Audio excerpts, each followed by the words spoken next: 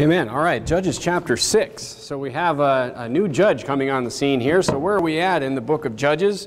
So far we've had um, the first judge, Othniel, and then we had Ehud, and then we had Shamgar after that. And then, of course, we talked about Deborah uh, for a couple weeks in Judges chapter 4 and Judges chapter 5, Deborah's song. And now we're in Judges chapter 6, and we see a new judge being called by God, um, the judge Gideon. Gideon. And this is the calling of Gideon in Judges chapter 6. So let's go ahead and just step through it. There's a lot in Judges chapter 6, and I'm going to kind of skip over some things in Judges chapter 6 because I want to go back and talk about it and apply it to what happens. We're going to hear the story of Gideon in Judges chapter 6 and also in Judges chapter 7. So I want to tie some things into Judges chapter 7 next week. So um, let's see what we can find out from the calling and the introduction to Gideon in the Bible. Look at Judges chapter 6 and verse number 1. The Bible says, And the children of Israel did evil in the sight of the Lord, and the Lord delivered them into the hand of Midian seven years. And the hand of Midian prevailed against Israel, and because of the Midianites, the children of Israel made them dens which are in the mountains and caves and strongholds. So, of course, this is very similar to the time of Shamgar and the time of Deborah. We see that it's very dangerous and how unsafe it is that the people just didn't, they didn't live in the valley. They, they moved up to the mountains. They lived in the caves. They lived among the rocks. You know, so the Bible is showing us over and over again here that the judgment is them being taken over by these other people. And it was a very brutal, and it was a very just a, a rough living, and we'll see that even more in the details that we get here in Judges chapter 6. But basically, we see again how unsafe it is. Look, I mean, the reason we live in the valley here is because you can grow things, and there's produce here. I mean, look at all the, the fruit and food factories here. You're not growing food in the mountains. I mean, the mountains are cool to hike in, but as far as producing things to help you live, it's really worthless. It's worthless land to somebody who's a farmer or rancher. You would never want to, you know, deal with the mountains. You can't grow anything there, raise anything there. I see cattle, you know, I don't want to go off on this, but I mean, I drive up in the mountains and I see people running cattle up in the mountains, and I'm like, these people are crazy. I mean, can you imagine trying to, you know, round up cattle in, in gullies and canyons, and I'm sure things are getting killed by bears and mountain lions and falling off of things and getting injured. I mean, it, it's, uh, it's a terrible situation. So I'm a flatlander, and the reason that you know there's so many ranches in North Dakota is because it's nice, rolling hills, flat lands, good for raising food and, and cattle. Okay, so look, they're up in the hills, they're up in the mountains living in caves. It's not because they want to be, it's because they're hiding from these people that are oppressing them. Look at verse number three. The Bible says, And so it was when Israel had sown, that, that means when they planted when they had sown that the Midianites came up, and the Amalekites, and the children of the east, even they came up against them, and they encamped against them, and destroyed the increase of the earth, till thou come unto Gaza, and left no sustenance for Israel, neither sheep, nor ox, nor ass. So basically, it says that they, they, they planted their crops, and they destroyed all the crops. They destroyed everything in the entire country, and even all the cattle and the livestock as well. For they came up with their cattle and their tents, and they came as grasshoppers for multitude, for both they and their camels were without number, and they entered into the land to destroy it. Go to Numbers chapter 33. Let's just, a couple interesting, let's look at grasshoppers in the Bible for two minutes, okay? So, grasshoppers, it says they came up for, as grasshoppers for multitudes. So basically, grasshoppers are used, you know, as, a, as an analogy for two things in the Bible. Okay, and look at Numbers chapter 13 and verse number 33. Now, when the, the spies went in, it says that, and they, were, they, there, there we saw the giants, the sons of Anak, which came of the giants, and we were in our own sight as grasshoppers, and so we were in their sight. So this is using the, the grasshoppers uh, to show how, how big you know, people were. So they were comparing themselves to grasshoppers to these giants. And then in Jeremiah 46, you don't have to turn there, I'll just read it for you. Verse number 23, it says, They shall cut down her forest, saith the Lord, thou it cannot be searched, because they are more than the grasshoppers and are innumerable. So grasshoppers in the Bible are used to show either how big people are, how small people are, or how many people there are. So in this case, it's talking about, you know, um, how many of these enemies came in. It's like they were grasshoppers. You remember the plague of the locusts, right? I mean, look, we still, we had a plague of locusts, I think, this year in Africa. There was this huge plague of locusts. That was this year, right? It came across Africa, and there were so many of them. I mean, what are locusts? They're flying grasshoppers. That's what they are. So locusts, they came across and they were just eating entire, you know, regions of crops. So it's, it's a good example of just a, a number that just can't be counted. So it gives us an idea of how many enemies there were, and it paints a picture of why they actually had to flee into the caves and live in the mountains, and there was nothing for them left to eat. Okay, look at verse number six. And of course, because of all this, and Israel was greatly impoverished because of the Midianites. And the children of Israel cried unto the Lord. And it came to pass when the children of Israel cried unto the Lord because of the Midianites, that the Lord sent a prophet unto the children of Israel, which said unto them, Thus saith the Lord God of Israel, I brought you up from Egypt, and brought you forth out of the house of bondage, and delivered you out of the hand of the Egyptians, and out of the hand of all that oppressed you, and drave them out from before you, and gave you their land. And I said unto you, I am the Lord your God. Fear not the gods of the Amorites, in whose land ye dwell, but ye have not obeyed my voice. And there came an angel of the Lord and sat under a, an oak which was in Ophrah that pertained to Joash the Abiezrite. And his son Gideon threshed wheat by the winepress to hide it from the Midianites. So here comes this prophet and he says all these things, the prophet basically repeats what God has told them again and again and again and again in the Bible over and over. He's like, I brought you out of bondage and I gave you the land of all these people and I told you about, you know, the, how wicked these people are and then you just like became just like them, basically. So you see this prophet comes in and says this, but then in verse number 11, another person comes on the scene, or not a person, another being comes on the scene, and it says, Then there came an angel of the Lord and sat under an oak which was in Ophrah. So once we get, again, you know, we see here, look at the end of verse number 11. And the Bible says, And his son Gideon threshed wheat by the winepress. Why?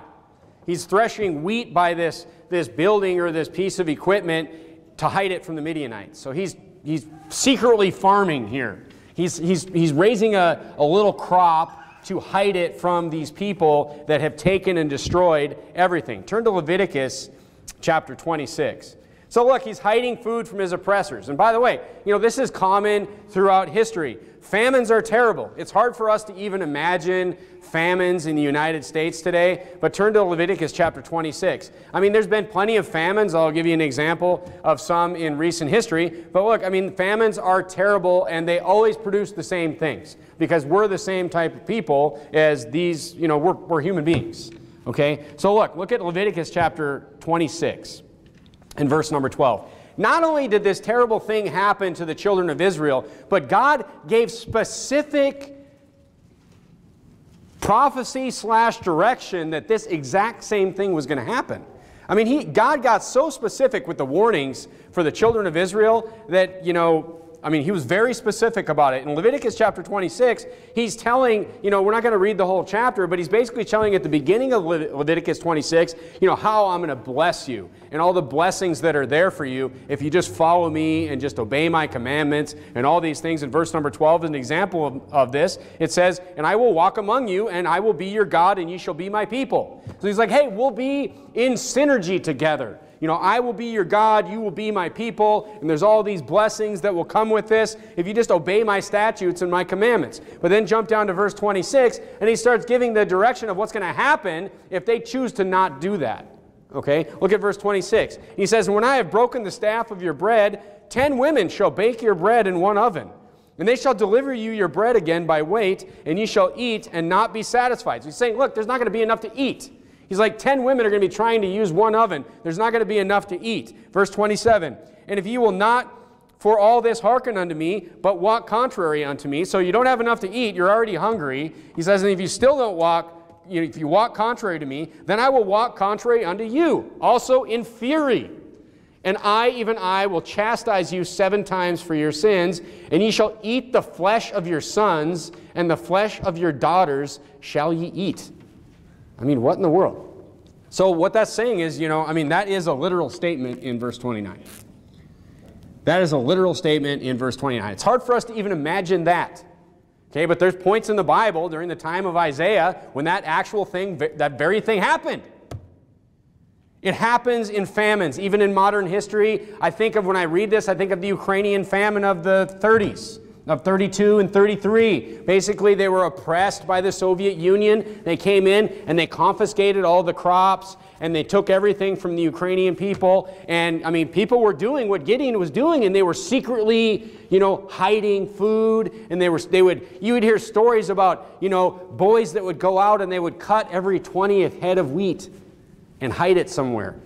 And then they would get caught doing that and they would be beaten to death and killed and all these types of things. But look, survival was a, I mean, let me just quote for you survival was a moral as well as a physical struggle. A woman doctor wrote to a friend in June 1933 that she had not yet become a cannibal, but was not sure that I shall not be, the, be one by the time my letter reaches you.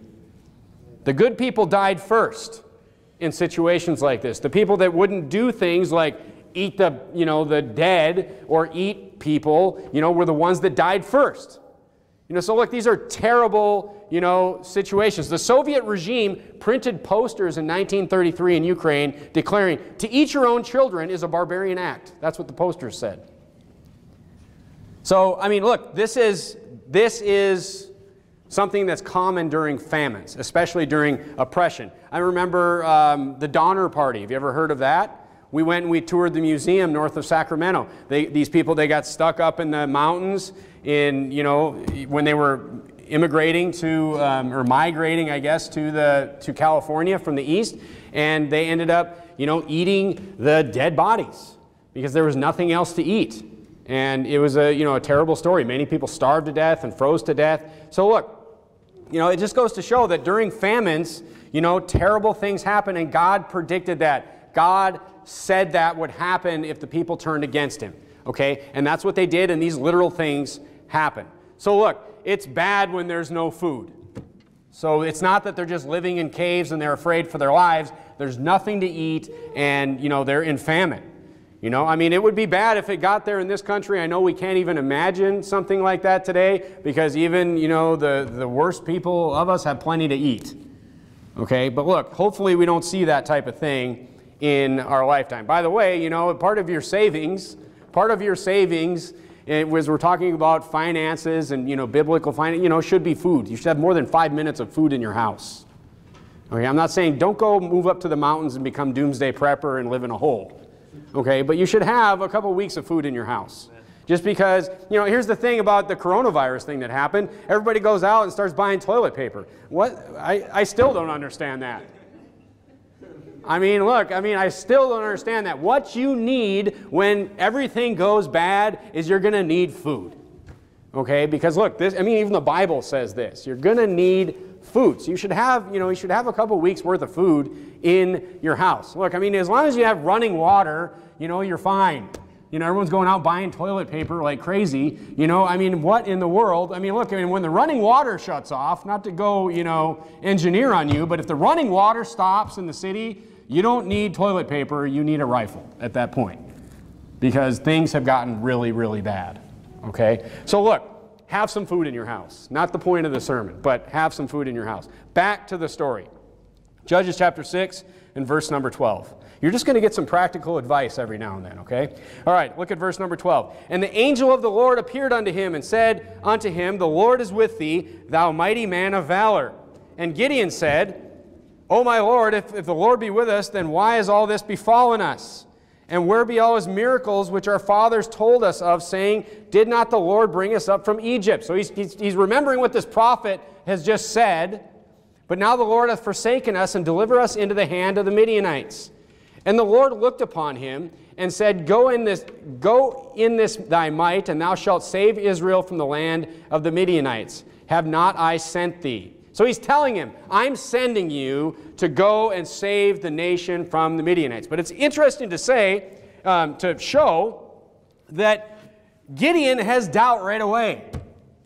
Okay, and I want, I want you to not miss this, where Gideon has doubt right away. And he says, Look, isn't this the Lord that brought us up from Egypt? He's like, Why has this all happened to us? So think of this for a minute, especially as we read the next few verses. I mean, think of how blinded Gideon is right now.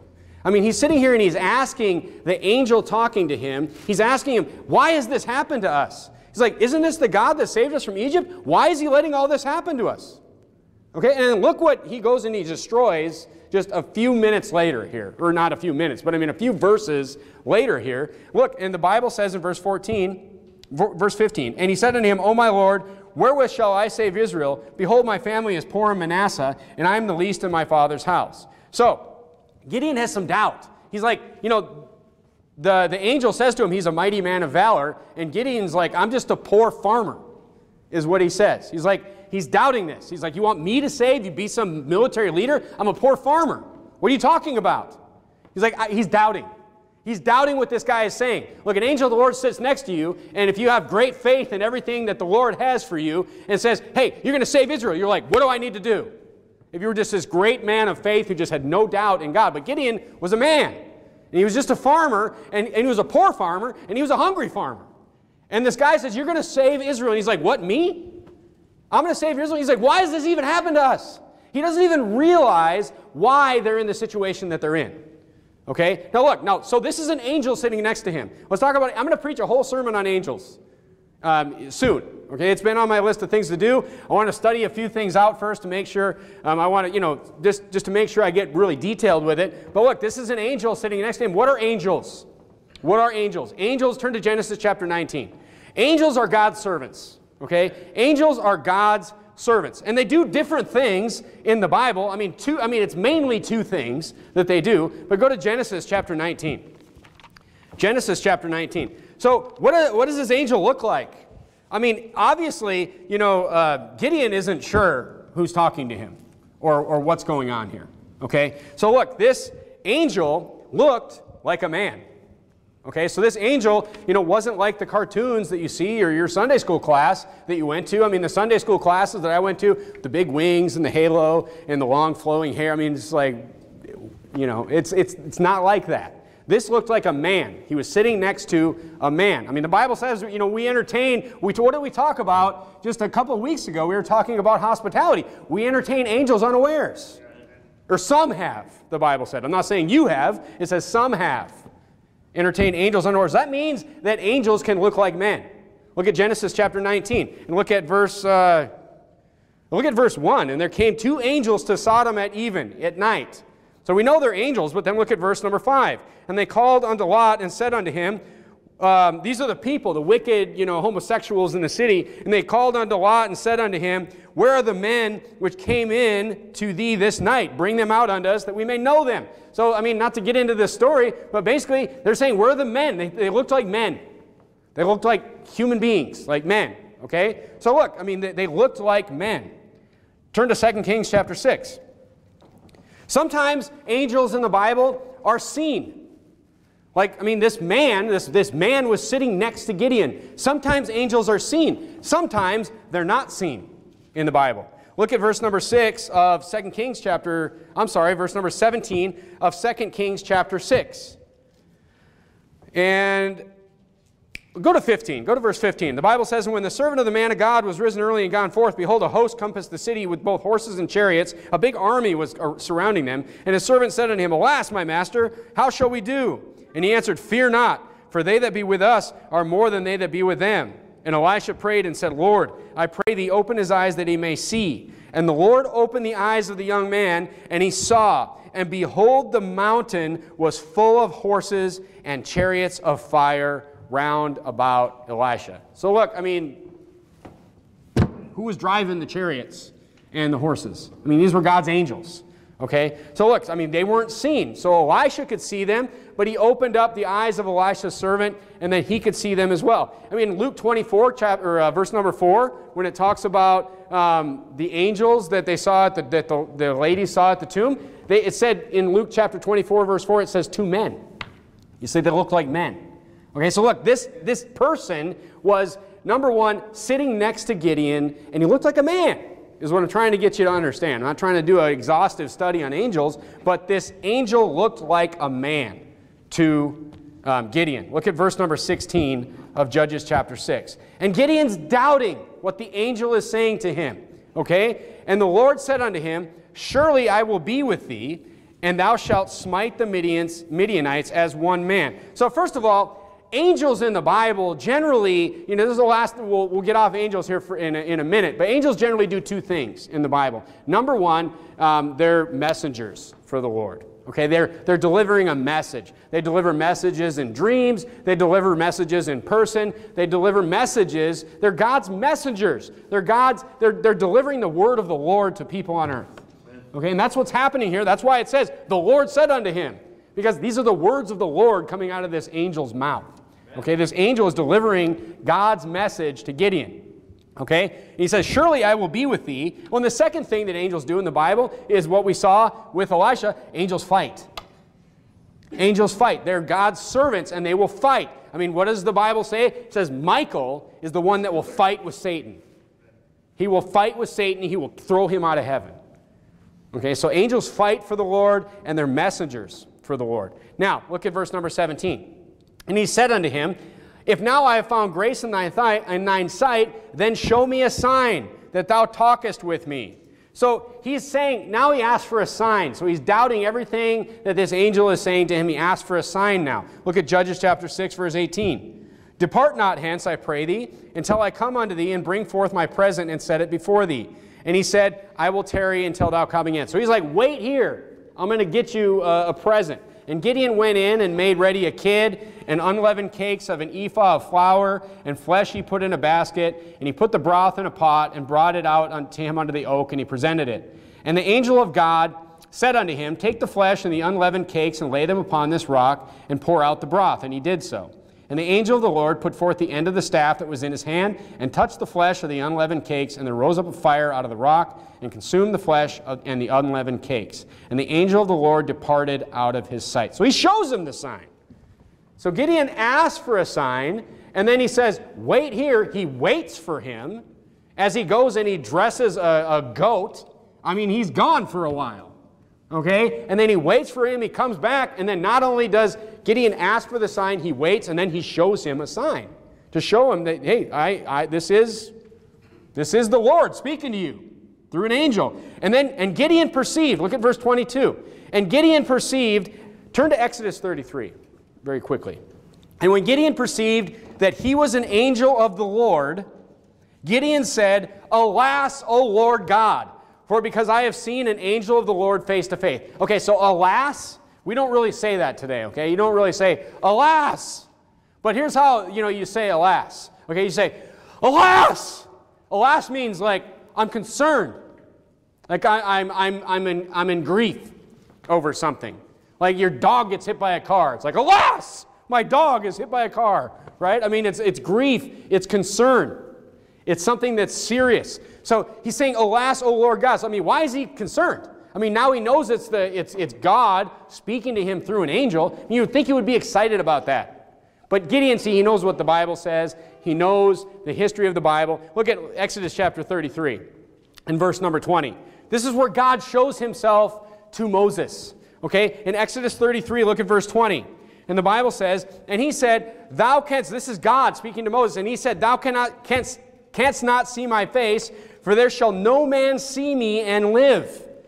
Everybody knew that no one could see God and live. Okay? And the Lord said, Behold, there is a place by me, and thou shalt stand upon a rock, and it shall come to pass, while my glory passeth by, that I will put thee in a cleft of the rock, and will cover thee with my hand while I pass by. And I will not and I will take away my hand, and thou shalt see my back parts, but my face shall not be seen. So look, God is saying here to Moses, He's like, if, if you see my face, you'll die. And so God puts him in the, like a crack of a rock, and he says, I'm going to walk by you. I'm going to put my hand over your face, and you're going to be able to look at my back as I walk away. So you don't die. So Gideon knows this. He now knows that he's seen this sign. He had all this doubt, and, and he's like, I've just seen God. I'm going to die. That's why he's concerned. Okay, but look, the difference here is so why didn't he die? Is the question. Well, first of all, it wasn't God, it was an angel. Second of all, this is God the Father. And you remember in Genesis 18, when God, the Lord, appeared unto him in the plains of Mamre, the Bible says. The Lord appeared and he sat in the tent in the heat of the day. So the Bible says that the Lord and two angels, the two angels that we just read about, went to Sodom in Genesis 19. The Lord was there talking to Abram. But here's the difference the difference is that it's, it was God in his glorified state, it was God the Father in his glorified body, whatever that looks like. Okay? So that that's the difference. No one could see God in his glorified state. A lot of people think that, you know, because of the fact that no one could see God the Father and, and live, it, that every appearance of, of the Lord in the Old Testament is Jesus. And I, I don't know that that's the case. The Bible doesn't give us that much information. Okay? God appeared to Abram as a man. Whether that was God the Father, God the Son, God the Holy Spirit, you know, we don't know. It was the Lord, meaning, you know, I would probably think it was God, you know, the Father visiting Abram, but he was not in his glorified state. He, he just took the, the appearance of a man. Okay, he wasn't in his glorified state. So if you see God in his glorified state, you know, God the Father, you're going to die. And that's what Gideon knew. Okay? So look, either God appeared to Abram in, man, in a man's body, not in his glorified state, or it was Jesus. That's possible too. But even Jesus has a glorified state, by the way. Even Jesus has a glorified state. Turn to John chapter 7. I mean, Jesus had a, an earthly body. Do you know? Hey, guess what? You know, no matter what you think of yourself when you look in the mirror, you know you're not in your glorified state right now. Okay? You know, maybe you think, you know, I'm pretty great. And just look at me you know, but you're not in your glorified state. Okay? Look at John chapter 7, look at verse 38. The Bible says this Jesus says, He that believeth on me, as the scripture hath said, out of his belly shall flow rivers of living water. But this, but this spake he of the Spirit, which they that believe on him should receive. For the Holy Ghost was not yet given, because that Jesus was not yet glorified. See, Jesus had not been glorified. Turn to Matthew chapter 17. Well, you don't have to turn there, but I mean, just Matthew 17 is talking about, well, go ahead and turn there. I'll turn there as well. Matthew 17 is the transfiguration of Christ. I mean, that is, he's showing his glorified state. He's giving a preview of his glorified state to the disciples. And the Bible says in, in Matthew 17, and after six days, Jesus taketh Peter, James, and John his brother, and bringeth them up into a high mountain apart and was transfigured before them, and his face did shine as the sun, and his raiment was white as white as the light. I mean, does that sound like a normal looking person? I mean, his face shone like the sun, his raiment was white as a light. Turn to uh, Revelation chapter 1. I mean, we get more detail about what Jesus looks like in his glorified state. Look at Revelation chapter 1 and look at verse 14. This is Jesus in his glorified state. This is not the earthly Jesus. The Bible says his head and his hairs were like white, were white like wool, as white as snow, and his eyes were as flame of fire, and his feet like unto fine brass that they burned in a furnace, meaning that it was just bright. And his voice was the sound of many waters, just had a, a roaring voice. Like, like, I mean, you ever been at the ocean? It's just, it's so loud and it's all around you. That's what his voice was like. So it was just this white, this brightness, and you know his, his feet were like brass. But look, that's Jesus in his glorified state. Okay, look at Philippians chapter 3. And look at verse number 20. Do you know that you know you will have a glorified state one day? You're not there yet, but you will have that you know, when you are uh, resurrected. The Bible says in Philippians 3 and verse 20, For our conversation is in heaven, from whence also we look for the Savior, the Lord Jesus Christ, who shall change our vile bodies. So your, your body right now is actually vile. You know, this flesh that we have, that it may be fashioned like unto his glorious body, according to the working whereby he is able to subdue all things unto himself. All that to say this we are not in our glorified state today. Okay? God took the form of a man with Abram, and the angels did the same. And the angel is doing the same with Gideon. Okay? Go back to Judges chapter 6. Judges chapter 6 and look at verse 24. So Gideon had a lot of doubts. Gideon had a lot of doubts. What's going on? Why is this happening to us? You know, I, am just poor. What do you mean I'm a mighty man of valor and I'm going to free the nation? He's like, I don't understand. Then Gideon built an altar there unto the Lord and called it Jehoshaphat Shalom. And unto this day is yet an Ophrah of the Abiezrites. And it came to pass that same night that the Lord said unto him, Take thy father's young bullock, even the second bullock of seven years old, and throw it down the altar, throw down the altar of Baal that thy father hath, and cut down the grove that is by it. So here, so here he's he's farming and he's secretly like trying to solve the famine for his family. He's hiding this wheat, and this angel comes and he's like, Why is this happening to us? And his dad has his own altar of Baal. I mean, is their, their family have, has their own false god altar. I mean, doesn't this go to show that like some people just they're just like clueless on why God is chastising them? Not really the point, but I mean, he, they has no clue. He's like, why is this happening to us? I don't know. Maybe because you're worshiping Satan. it's like what? You know, I mean, hindsight for us is, is 2020, but I'm just, you can get in states like this. Okay? So look, it, the, the angel tells him, tear down this altar and build an altar of the Lord of God on top of this rock in the ordered place, and take the second bullock and offer a burnt sacrifice with the wood of the grove which thou hast cut down. Then Gideon took ten men of his servants and did as the Lord said unto him, and so it was because he feared his father's household and the men of the city that he could not do it by day, he did it by night. So at night he goes and he does all this. And when the many of the city arose early in the morning, behold, the altar of the Baal, of Baal was cast down, and the grove was cut down that was by it, and the second bullock was offered upon the altar that was built. And they said unto one another, Who had done this thing? And when they had inquired, and they said, Gideon the son of Joash has done this thing. And the men of the city said unto Joash, Bring out thy son that he may die, because he hath cast down the altar of Baal, and because he hath cut down the grove that was by it. So he, he destroys the altar. I mean, amongst these people are starving, and not only are they starving and they're in the caves, but they literally have taken, I mean, it's just, they literally have taken the altars of the false gods with them in hiding. And I mean, just think of the mercy of God. Think of the mercy of God. He sends, I mean, these people that are so turned against him and are under the chastisement of God, he sends an angel to save them. He sends an angel to raise up a judge. Look back at verse number six. But I want you to notice what always has to happen first before God sends somebody to save them. Look at verse number six. And Israel was greatly impoverished because of the Midianites, and the children of Israel cried unto the Lord. Just underline that in your Bible. The children of Israel cried unto the Lord. Go back to Judges 3, verse 9. Before Othniel came on the scene, we saw all the different judges that have come so far. Before Othniel, in Judges 3 9, the Bible says, And when the children of Israel cried unto the Lord, the Lord raised up a deliverer. Look at verse 15 of chapter 3. But when the children of Israel, before Ehud, before the children of Israel cried unto the Lord.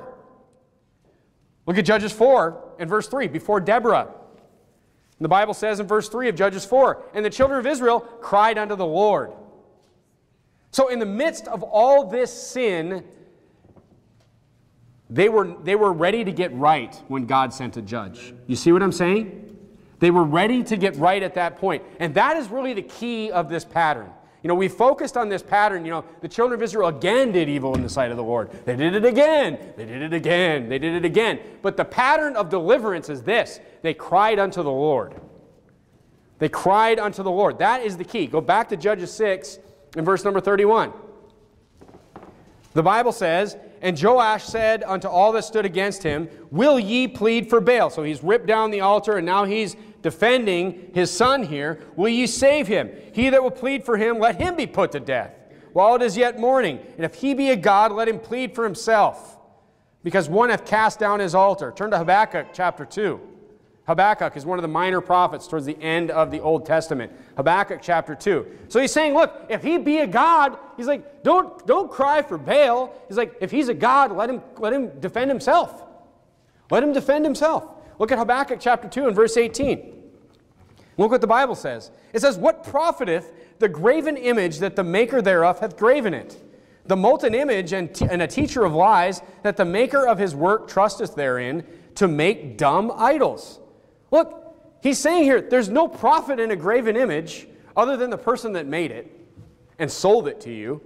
He's like, there's no profit other than the person that made it. It's just a dumb idol, meaning it, it's nothing. I'll read for you Jeremiah 2 and verse 11. Hath a nation, hath a nation changed their gods, which are yet to know gods?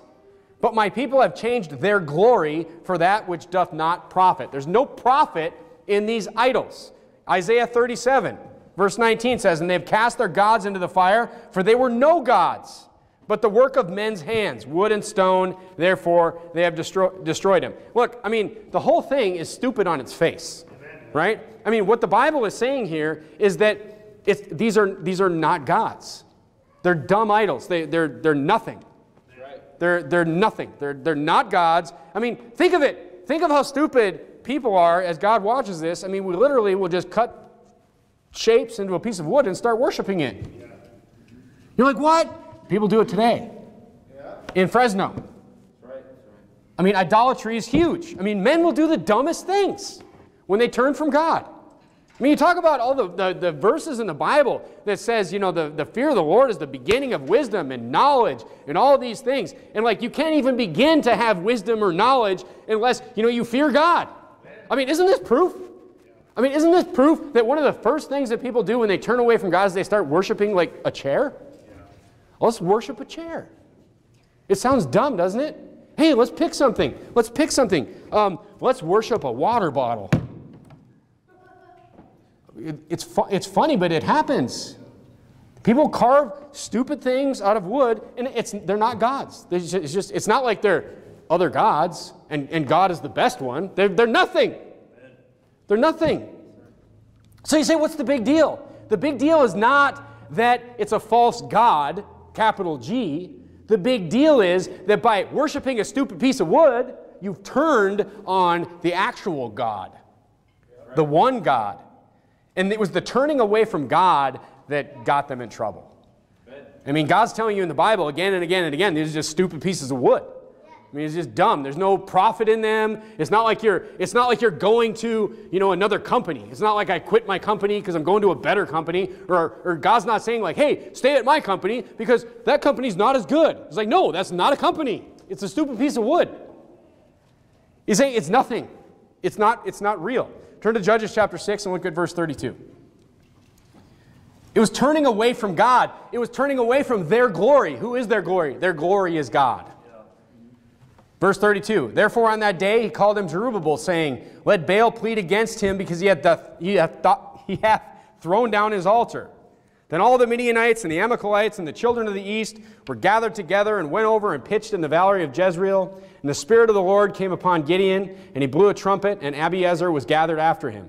And he sent messengers through all Manasseh, who also gathered after him, and he sent messengers unto Asher and unto Zebulun and unto Naphtali. He's gathering all the tribes, and they came up to meet him. And Gideon said unto God, If thou wouldst save Israel by mine hand, as thou hast said, behold, I will put a fleece in the fleece of wool on the floor, and if dew be on the fleece only, and it be dry upon the earth beside, then I shall know that thou wilt save Israel by mine hand, as thou hast said. He's like, Show me another sign. He's like, all these things that have happened. He realized he was talking to an angel. The angel said all these things to him. He's like, All right, but just give me one more sign. And what does the angel do? Look at verse 38. And it was so. He showed him. It was so, for he rose up early in the morrow and thrust the fleece together. Well, the angel didn't show him, the God showed him this sign. And he wringed out the dew out of the fleece and a bowl full of water. And then Gideon said unto God, Let not thine anger be hot against me, but I would like another sign. Just one more. And I will speak but this once. Let me prove, I pray thee, but this once with the fleece. Let it now be dry upon the fleece, and upon the ground let there be dew. So he had a little ball of cotton, and he put it on the ground. And he's like, hey, you know, if you're, you know, he's like, make it wet. And he's like, all right, now do the opposite thing and make the ground wet and this thing dry. And he's like, then I'll know. Then I'll go. Okay? Then I'll go. All right? Now look. In verse number 40, show me another sign, and God did it. And God did so that night, for it was dry upon the fleece only, and there was dew all over the ground. So this, I mean, I want to, I'm going to really dig into this next week on these signs and the things that, that Gideon was asking the Lord for and how God responded to Gideon for asking for all these signs. But I mean, look, God showed him the signs, and he's like, you're going to go and you're going to defeat, you're going to free Israel. Okay? So in application this evening, I just want to look at this idea that Israel cried unto the Lord. Because this is huge. We can't miss this pattern that happens before God raises up a judge. Look, we have a trend now, right? We have several judges that we've seen. Now we have a trend. We've got some points. We can see a pattern. We can learn from a pattern. Okay, we can see this. Israel cried unto the Lord every single time, and then God raised up a judge. Notice, you know, look, First of all, lessons from the Old Testament, from the nation of Israel, you can apply directly to yourself.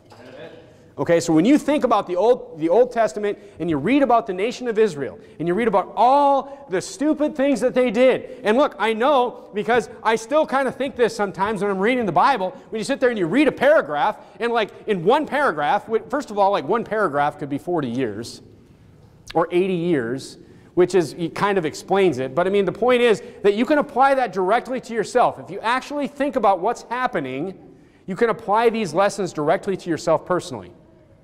So look, God's reaction to the nation of Israel can be very, can be very similar to his reaction to us. Turn to Romans chapter 6, and I'll give you an example of this.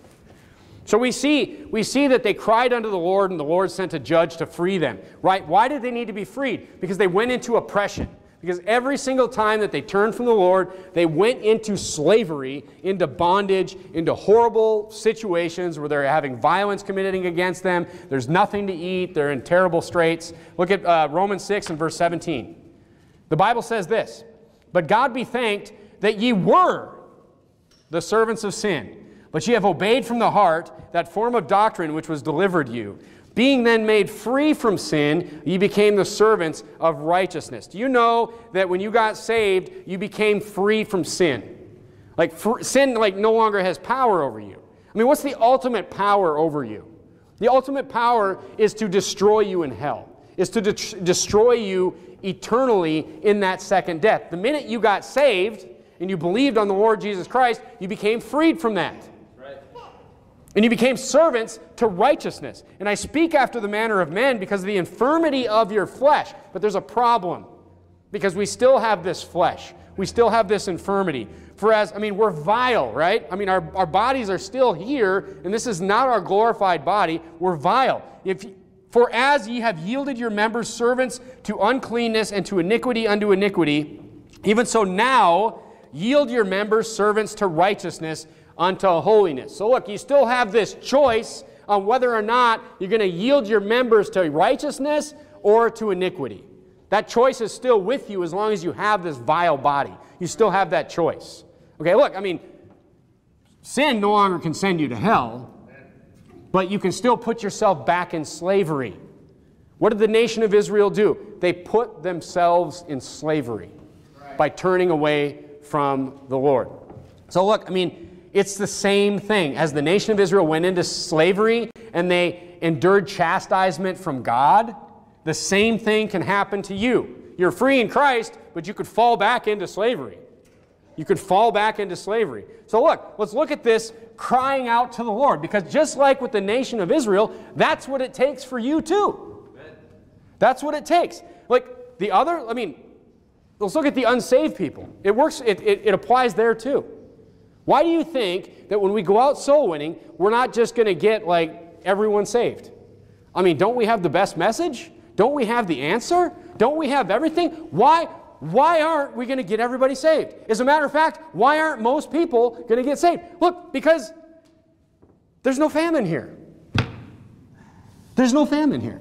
There's no trouble here. There's no need here.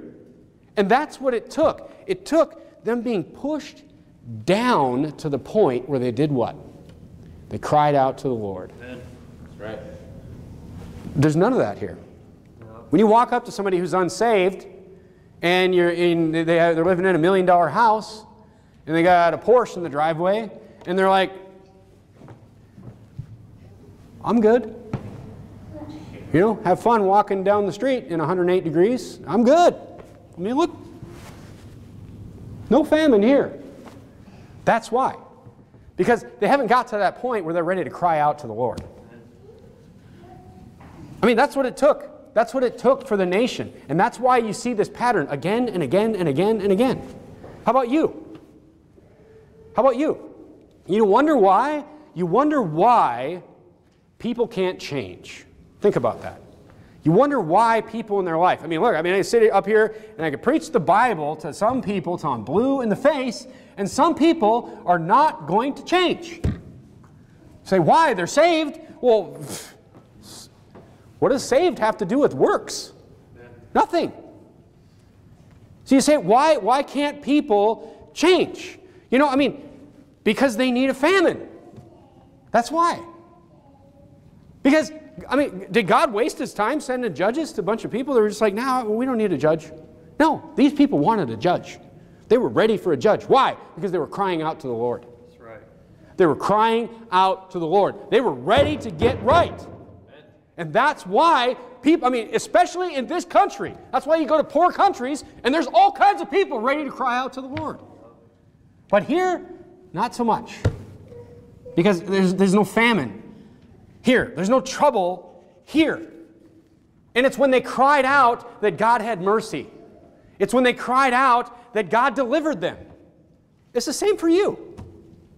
Whether you're in sin, whether you need to change things in your life, if you cry out, God's going to deliver you. I mean, God, look, God, I mean, God didn't just decide, God didn't just look down. I mean, look, imagine the wicked things that were happening. I mean, by the time, I mean, think about Fresno in the valley. Think about some army coming in here, and think about Fresno being empty, and nobody being in Fresno, and everybody, a million people in Fresno, had fled to the mountains and living in caves and rocks. Think about the horrible things that must have happened at that point. God's watching that. God didn't say, that's enough now. That's too brutal. Not until they cried out to the Lord is when he sent. I mean, it, can you not see the pattern? They cried out to the Lord. Then God said, I'm going to raise up a judge. And I'm going to deliver them. I mean, it's not like God just said, that's enough, that's, that's too much judgment. No, it's when they cried out, it's when they were ready to get right. Because God's not going to waste his time raising up some judge for a bunch of people that don't want to get right. So when will people be ready to cry out to the Lord? That's, that's why, look, to admit that they've abandoned him, to admit that they've turned their back on God, to admit, I mean, personally, to admit that, you know, you've abandoned God. That's what it will take for you to get right. That's what it will take to get sin out of your life. You admit, you know what? I've abandoned God here. I've turned on God here. I know, and look, you know. Everybody here knows. I know you know. If, if there's some sin that you just can't get away from, you put yourself in slavery somewhere, you know. You just have to get to the, yourself to the point where you're like, you know what? I, I've turned my back on God. You need to cry out to the Lord, and admit that fault. You know, there's too much, there's too much attitude today that everybody else is keeping me down. All my problems are somebody else's fault. Your problems are your fault. Right. Your sin is your fault. Like, oh, these other people, you know, did this and all this, and you know, I grew up this way and this way and that way. Look, it's your fault. Amen. It's your fault. If you're an adult and you know you are in a relation, I mean, you're saved. I mean, face it. Admit fault, and God will deliver you. It's that simple. Take, I mean, take responsibility. That's what they did. That's, that's what crying out to the Lord was. It was, it was taking responsibility for what they had done as a nation. And then God sent them to be delivered. I mean, look, that's, look, not to go off on this, but this is why, this is why all these government programs are so wicked. Because look, people that aren't doing right, they should be put into famine. And then you know what? When people go into famine, maybe they'll cry out to the Lord. All these government programs, look, you personally, if you're aiding people in sin, I mean, how many times have I said this? You know what you're doing if you're aiding someone in sin? You know what you're doing? You are interfering with God's plan. You are interfering with God's plan. Because you know what? God needs people whether they're saved or unsaved. Look, if they're unsaved, you know, they need to be put in famine, and then when somebody knocks on their door with answers, they'll listen. But if they're saved and they're in sin, and you're helping them in sin, and you're making them comfortable in that sin, they're never going to get to the point where they're like, you know what, I'm in famine, and they're never going to cry out to the Lord. You're, you're intervening. You're intervening with God's plan because they'll cry out to the Lord, and then God will have mercy on them. And then God will take care of that situation. Like, I mean, it's all about, you know, you're blocking God's plan in people's lives. If the problem is sin, let God deal with it His way. That's how you know. If the problem is sin in my life, in your life, if your problem is sin, admit it. If you see somebody else and their problem is sin, they need to realize that, they need to cry out, and God will send, God will deliver them once that happens. Don't just intervene and, and, and, and, and get in the middle of God's plan because God, God knows what He's doing here. God invented the, you know, God knows how to deliver people out of bondage. And if you put yourself in bondage, God knows how to deliver you out of that. He's been doing it since the beginning of mankind. All you have to do is just cry out to the Lord, just like the children of Israel did. So just remember that when we read through all these stories in the Old Testament, just remember this applies directly to us. I mean, isn't it a perfect match to our lives? And God deals with us the same way. God, you know, I am the Lord, I change not. God is the same God as He is in the Old Testament. New, he's the same. It's the same thing. Look, and if you read the book, if you read the book, it's the same personality throughout the whole thing. Period. People need to cry out to the Lord, and He will deliver them. So we'll look at the rest of the story of Gideon next week, and we'll look at some of the uh, the signs that Gideon asked for, and we'll see how God dealt with that. So it's a great story, and we'll continue it next week. Let's bow our heads and have a word of prayer.